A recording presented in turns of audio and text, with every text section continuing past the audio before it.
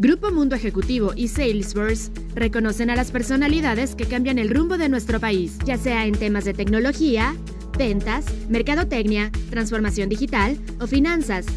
Más de 30 profesionales estarán reunidos este 23 de febrero en el evento que da valor a los expertos en innovación. The Best Practices 2021. Vamos a tener un gran programa, por supuesto no se lo pierdan, dos invitadas de lujo y además un poco de ejercicio, turismo, no se pierdan Mujer Ejecutiva.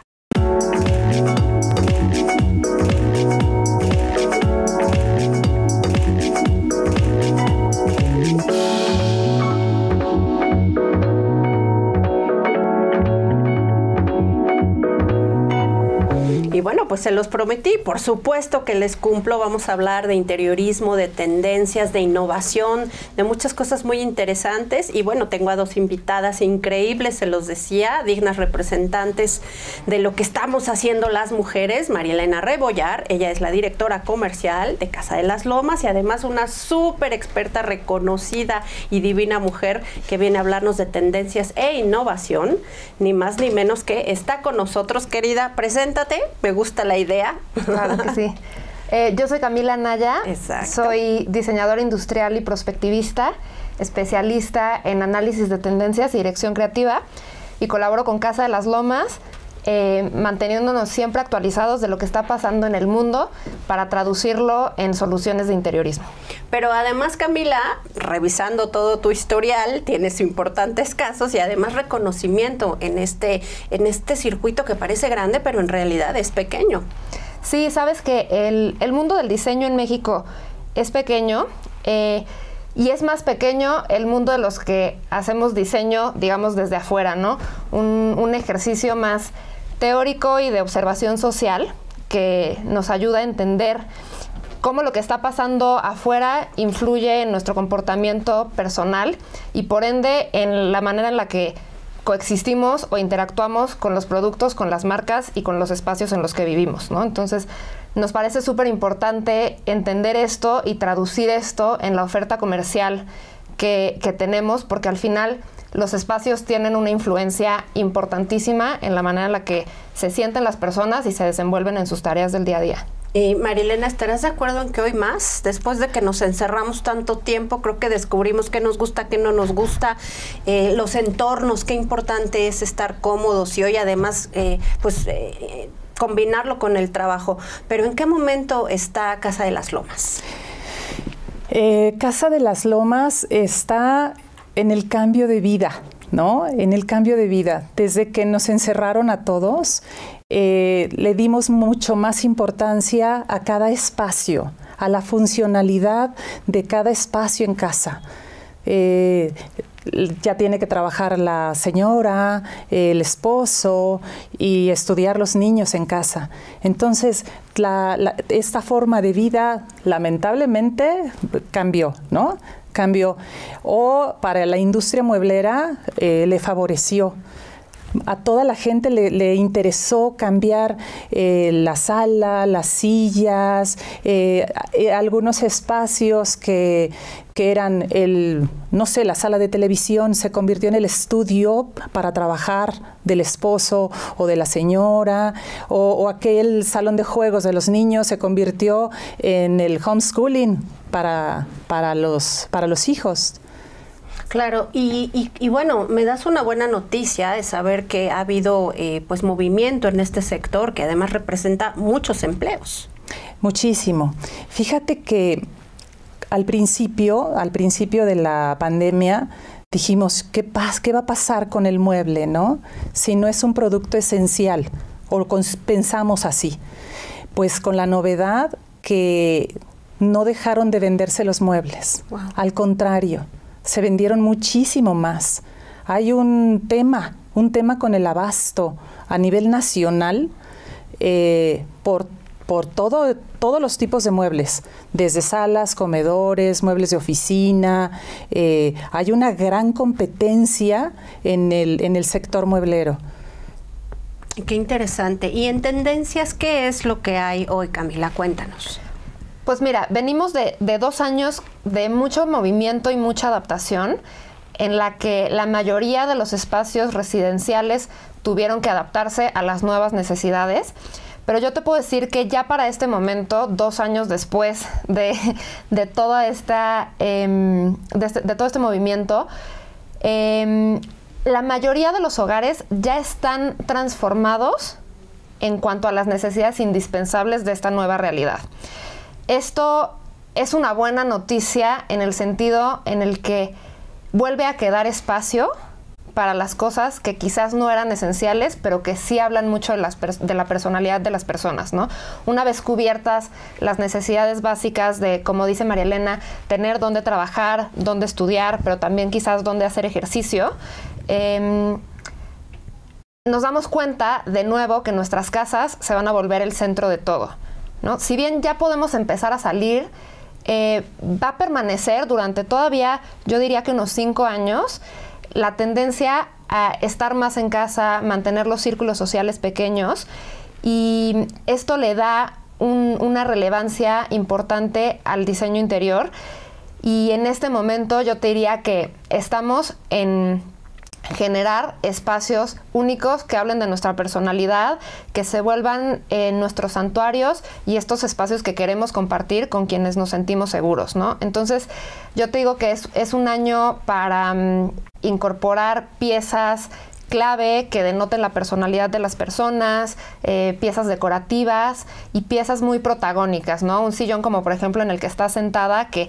es un sillón que es una pieza súper llamativa, protagónica y que la gente cuando va, va a tu casa se va a acordar de este sillón. Y que además ahora que nos encantan las fotos para todo. Claro. ¿No? Como todo, ¿me dejas hacer una foto en el sillón? Pues sí, obviamente. Oigan, no se vayan, tenemos todavía mucho de qué hablar. Y ustedes les recuerdo, por favor, que nos sigan en redes sociales, además nos den likes, por supuesto, y nos escriban de todo lo que quieren hablar en Mujer Ejecutiva Televisión. Vamos rápidamente un corte. Regresamos.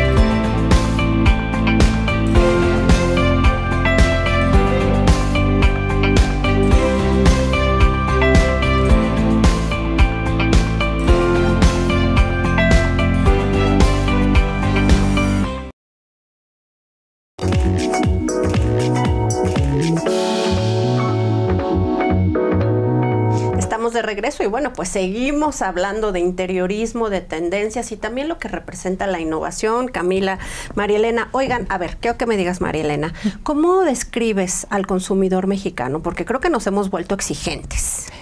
Cada vez es más conocedor, ¿sabes?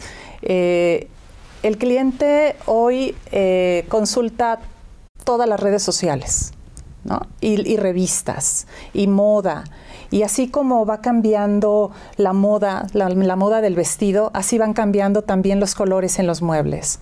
y en, los accesorios. Entonces, el cliente cuando, cuando llega a ti ya sabe lo que, mucho ya sabe lo que quiere, ya, ya sabe qué colores, ya sabe eh, hasta de calidad del producto y de materiales. El cliente hoy es más conocedor. Y Casa de las Lomas, eh, a lo largo de, tantos años, llevamos 28 años en el mercado, eh, pues hemos recorrido todas las expos de, muebles de, México, de México sobre todo, de Estados Unidos, España, Italia, Asia. Y esto nos ha servido para recopilar, recopilar una cantidad inmensa de, artículos. Hoy contamos con 14 catálogos de diferentes estilos para, para llegar a cualquier público. Llegamos a, una, a un departamento pequeño, a una casa grande, a un hotel, al restaurante. Eh, contamos con una variedad infinita de productos. Todos están en la web y en nuestras tiendas físicas también. Hoy tenemos 23 tiendas, la mayor parte en la Ciudad de México, eh, en el área metropolitana y algunas en el interior de la República. Mm, qué bien. ¿Tú qué nos dices, Camila? ¿Cómo, cómo es que hoy es el consumidor mexicano? Em, mira, yo concuerdo con María Elena en el sentido en el que es un consumidor cada vez más informado. Eh, pero también muy arraigado a, las raíces y a la cultura mexicana. Entonces, eh, es, un consumidor que está valorando cada vez más el diseño mexicano, la, mano de obra mexicana y el producto mexicano. Y eso es una gran noticia para la industria eh, mueblera en México, que, es una industria muy grande y en crecimiento. Entonces, yo te diría que además de estar informado, es un público que está empezando a apostar y a demandar diseño mexicano. Híjole, ¿y en ese sentido hay buen diseño mexicano? En México hay muchísimo talento. Em, lamentablemente de pronto no hay las plataformas eh, necesarias para difundirlo, pero mm, ahora que lo mencionas, eso es algo muy importante a lo que se está sumando Casa de las Lomas. Eh, estamos trabajando con varias colaboraciones con despachos mexicanos. El año pasado lanzamos uno eh, una colección donde invitamos a cuatro de los más destacados despachos jóvenes de diseño y estamos por lanzar a fin de mes una segunda colaboración con dos arquitectas, eh, mamá e hija. Que, generaron una colección de muebles exclusiva para Casa de las Lomas. Entonces, diseño hay, eh, faltan plataformas y empresas que se sumen a ponerle cara y nombre a los diseñadores y a promover el, consumo de diseño mexicano. Y a creer en, personas tan jóvenes, que también es importante. No, no sabes. El año pasado hicimos cosas divinas con, con estos cuatro eh, grupos de arquitectos y diseñadores y este año no, no vamos a parar no vamos a parar. Los mejores aliados que tenemos eh, son justo los despachos de interiorismo y diseñadores y los fabricantes mexicanos. Si bien es cierto, como te decía un hace un rato, vamos a las mejores exposiciones del mundo, no todo lo compramos en el extranjero. El 80% del producto que vendemos es nacional, orgullosamente nacional. Eh, trabajamos colecciones eh, hombro a hombro con el equipo de diseñadores y el equipo de fábricas de mexicanas y, hacemos colecciones muy extensas. Comenzamos de repente, ¿no? Te voy, te voy a, a, poner un ejemplo, con una, con una mesa redonda, y la hacemos cuadrada y luego rectangular y luego triangular y luego la mesa de centro, la consola en diferentes cubiertas con mármol, con cristal, con granito. Eh, la verdad es que es un mundo extraordinario, el, mundo de los muebles. Camila, me gustaría empezar a cerrar la entrevista hablándonos de eh, diseñadora industrial. ¿Cómo ha sido esta carrera y cómo, pues, cómo tu generación ha impulsado a grandes talentos? Em, sí, yo justo eh, te, puedo, comentar que en los últimos 10 años se ha visto una importante evolución en la cultura y en la comunidad de diseño en México. Eh, y, algo muy bonito es que em, se ha perdido un poco este ego del diseñador tan característico eh, de, toda la vida y que hacía al diseñador una persona distante e incluso eh, alejada de su mismo sector. Eh, México ha trabajado muchísimo en generar comunidad de diseño y creo que eso está marcando toda la diferencia en cómo el diseño mexicano se está haciendo notar en, México y en el mundo. Em, desde diferentes eh, perspectivas, ¿no? Desde el diseñador que se dedica per se a la disciplina de diseño hasta personas como yo que estamos desde afuera viendo cómo eh, podemos exponenciar y darle visibilidad a, a todo ese talento y todas esas ideas que se están gestando. Ya nos vamos, María Elena, pero ¿por qué no te despides del público dándole un mensaje? Gracias. Bueno, el mensaje que yo quiero dejar es que el espacio favorito de, todos debe ser nuestra casa. ¿no? Donde llegas a descansar, donde llegas a disfrutar de tu familia.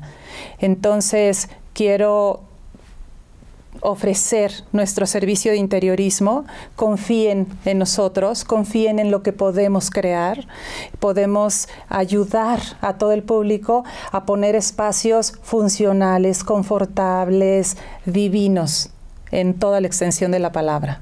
Camila. Em, sí, yo concuerdo con que Em, tengan la apertura de conocer nuevas tendencias y de, ir evolucionando junto con el contexto. Al final, las tendencias, tanto en moda como en música, como, como en mobiliario y interiorismo, reflejan lo que está pasando en el mundo. Eh, y hacemos un, un trabajo de investigación y de análisis muy bonito en el que transformamos estos fenómenos sociales, políticos, económicos en, formas y en, y en objetos que, mm, que, resuenen y que conecten con la gente. Entonces mi invitación sería eh, abrirse a generar nuevos y mejores espacios para la vida diaria. Buenísimo, muchas gracias por venir a Mujer Ejecutiva. Gracias, a, ti, Arlene. Bueno, pues vamos rápidamente a una pausa comercial. Regresamos.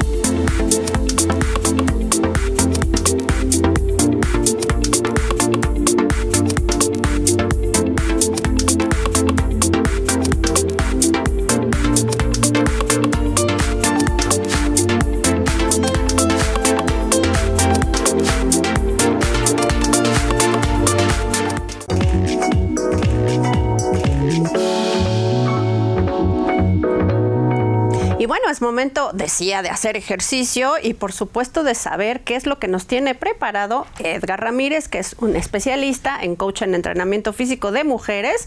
Y bueno, pues vamos a ver lo que nos preparó. Hola amigos de Mujer Ejecutiva.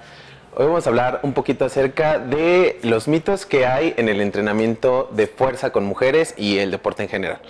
Mm, vamos a empezar hablando acerca de que antes eh, se tenía la creencia de que las mujeres no tenían que practicar deporte, ¿vale? Porque se les consideraba menos, ¿va? Entonces, conforme fue pasando el tiempo, vieron y comprobaron que las mujeres no tienen menor capacidad física que los hombres, es la misma la que tenemos nosotros que la que tienen ellas, ¿vale? Pero alrededor de esto, el entrenamiento de fuerza también es como un tema que a la fecha todavía les causa como que un poquito de conflicto, porque ellas piensan que el trabajo con pesas las va a, virilizar o a hacer verse masculinas, lo cual ahorita pues, ya sabemos que no es cierto, ¿ok? Eh, ¿Qué es lo que pasa con el trabajo de fuerza? Vamos a desarrollar un poquito más de masa muscular, pero no va a ser la misma que un hombre podría desarrollar, ¿vale? ¿Esto por qué? Porque los hombres tenemos y producimos más testosterona que las mujeres, ¿vale? ¿Qué es lo que nos va a dar eh, esa ventaja a la hora de crear masa muscular? Pero esto no quiere decir que las mujeres no puedan practicar cualquier deporte que un hombre haga, que no puedan cargar lo mismo que un hombre carga, porque al final los hombres y las mujeres somos iguales, ¿vale? Todos tenemos la misma cantidad de músculos y la misma cantidad de huesos, ¿vale? Lo único que podríamos tal vez diferenciar es el entrenamiento. ¿A qué voy con esto? A una mujer no le va a dar tanta importancia el entrenamiento del tren superior que del tren inferior. Porque si ustedes ven el entrenamiento tal vez de un hombre, dedica de los seis días a la semana que entrena, cuatro días para entrenar la parte superior y tal vez uno o dos, y eso a veces es muy raro, para la parte inferior. Entonces, eso no nos serviría con una mujer, ¿vale? ¿Qué es lo que tendríamos que manejar o qué es lo que yo en este caso hago? Entrenar una vez arriba el tren superior, una vez abajo el tren inferior, ¿vale? Entonces, esto nos da una frecuencia eh, igual de arriba y abajo, pero podríamos trabajar tal vez un poquito más la parte inferior con las mujeres, ¿vale? Todo va a depender de cuál es el objetivo de ellas, ¿ok? Entonces, Mm, no se casen con la idea de que las mujeres no pueden entrenar pesas o que va a pasar algo malo por entrenar pesas, como se creía anteriormente. Les repito, o sea, los hombres y las mujeres somos iguales, todos tenemos el mismo número de músculos, el mismo número de huesos, podemos entrenar cualquier deporte, que ellas tengan ventaja en algunos más que nosotros es diferente, pero de que lo pueden hacer, lo pueden hacer. Hablemos de turismo y por supuesto con nuestro gran experto Rafael Paredes, el CEO de VIP Relaciones Públicas, nos tiene esta cápsula. ¿Qué tal amigos? ¿Cómo están? Sean bienvenidos a este espacio para hablar de turismo. Hoy les quiero platicar una experiencia que tuve hace unas semanas en donde realmente vale la pena invitarlos y, llevarlos de la mano a esta experiencia. Fíjense que lo que se me ocurrió hacer fue eh, buscar el refuerzo de mi vacuna. Eh, pero se me ocurrió llevar a toda mi familia e hice un cambio. En lugar de volar hacia Estados Unidos, a una ciudad, lo hice por tierra. Nos fuimos por tierra a través de las autopistas de, de la República Mexicana, las de cuota, que están muy bien. Realmente fue un recorrido largo, pero bastante cómodo. Es un recorrido que lo lleva uno por Querétaro, San Luis Potosí, eh, eh, Monterrey y ya puede llegar uno a la frontera. Pero aquí quiero comentar algo. Este recorrido que vale la pena ser familiar porque, porque creo que lo vale. Además de ser seguro y de tener una autopista muy cómoda, déjenme comentarles que podemos hacer una ruta gastronómica sensacional, porque uno puede salir de la Ciudad de México destino a Monterrey, que es el punto final para tratar de cruzar la frontera. Y en el camino nos vamos a encontrar en el área de muy cercana a Querétaro, un lugar que se llama Palmillas, en donde la comida, la típica barbacoa que se hace en México es sensacional y vale la pena tomar un desayuno. Estoy hablando de un recorrido de México a Monterrey de 10 horas en automóvil. Es una manera de convivir con la familia, una manera de platicar, de cantar, de intercambiar experiencias y de tener esta gastronomía. Uno puede desayunar, les comento, ahí en, en Palmillas, en Querétaro, y continúa su viaje. Este viaje nos lleva a la ciudad de San Luis Potosí. En San Luis Potosí unas enchiladas potosinas se apetecen, son deliciosas, maravillosas. Y para la tarde que uno llega a Monterrey en este trayecto de 10 horas, pues un cabrito, sin lugar a dudas vale la pena. De Monterrey a la frontera, por Reynosa son aproximadamente dos horas. En Reynosa se ofrecen varios... Eh, cruces, el cruce de Puente de Dona, Hidalgo, Far, distintos cruces, es cuestión de estar monitoreando cuál es el que menos eh, tráfico tiene. Y bueno, uno puede llegar a McAllen. McAllen finalmente es un lugar de compras, un lugar que sí hay museos, un lugar que tiene un aeropuerto, eh, un lugar que está a dos horas de Isla del Padre, recomendable estar en el Océano Atlántico. Y bueno, uno de los atractivos principales es eh, las compras. Hay moles, hay tiendas de descuento, outlets. Es un lugar para hacer deporte. Nuestro típico y tradicional deporte del shopping que hacemos los mexicanos. Pues yo los invito a que recorran por carretera a nuestro país y traten de convivir con la familia, siempre sean felices y recuerden que pronto volveremos a viajar.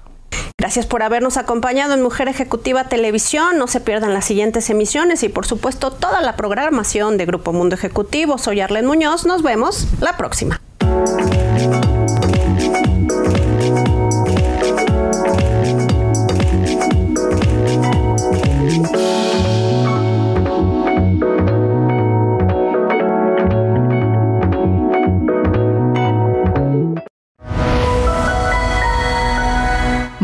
Ejecutivo presentó